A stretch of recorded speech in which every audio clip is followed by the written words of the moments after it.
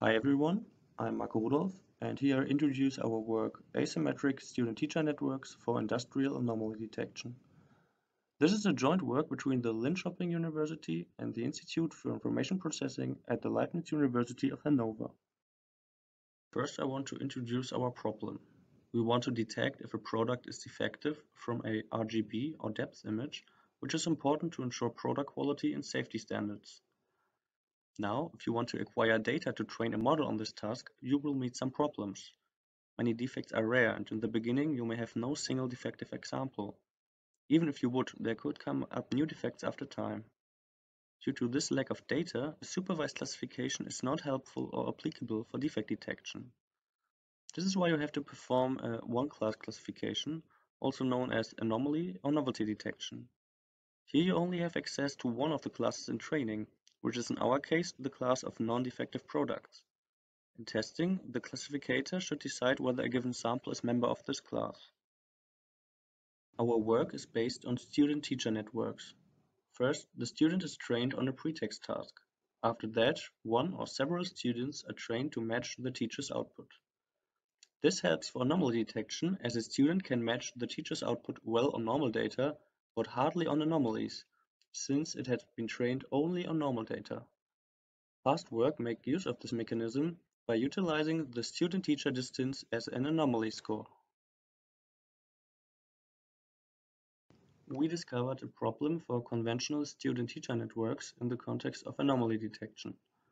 In past work, student and teacher had the same or a similar architecture. This leads to an undesired generalization of the student to the teacher such that the distance is still small for anomalies. This motivates us to asymmetric student-teacher networks. As a teacher, we use a normalizing flow which is trained to estimate the density of the defect-free data. As a student, we use a conventional CNN. This is an overview of our pipeline. For preprocessing, we obtain features of the RGB image with a pre-trained feature extractor. Optionally, we also take the depth image where we regroup the pixels to match the feature dimensionalities and extract the foreground.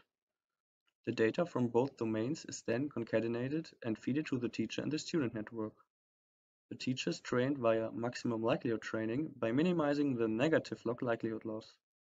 The student is trained to minimize the distance between its output and the teacher's output. If the foreground mask is available, the loss is only applied on the foreground. Furthermore, repositional encoding is used to enable the detection of misplacements.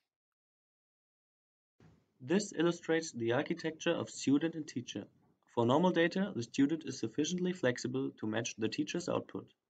Since the teacher is a bijective network, its output is sensitive to every input change.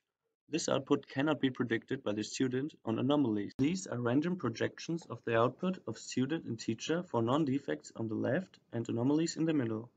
As clearly visible, the distance, visualized by the lines, is much higher for anomalies, which is supported by the histogram of distances on the right. The anomalies can be localized by visualizing the distance for every spatial position. On the right, we can see a visualization of this map, which is pretty close to the ground truth annotations of the dataset MVTEC 3D-AD. On the left, we report quantitative results for this dataset. We set a new state on the art on all data domains, having a large margin to past work. Thank you for your interest in our research. Code is available on GitHub.